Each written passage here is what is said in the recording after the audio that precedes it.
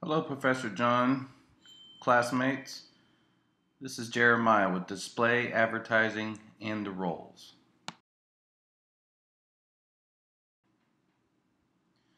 The advertiser's role in banner ads have changed.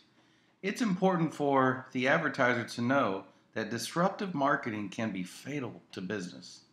The right direction will be to create entertaining ads that are compelling. The choice of displayed network can be critical to, to the campaign.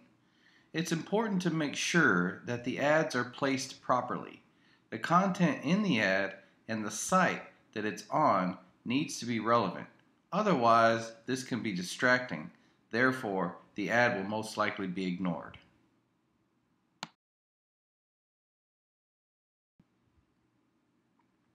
The publisher of the site has a responsibility too.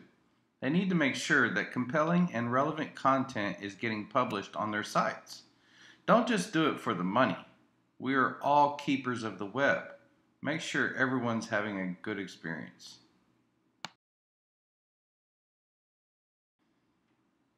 The end.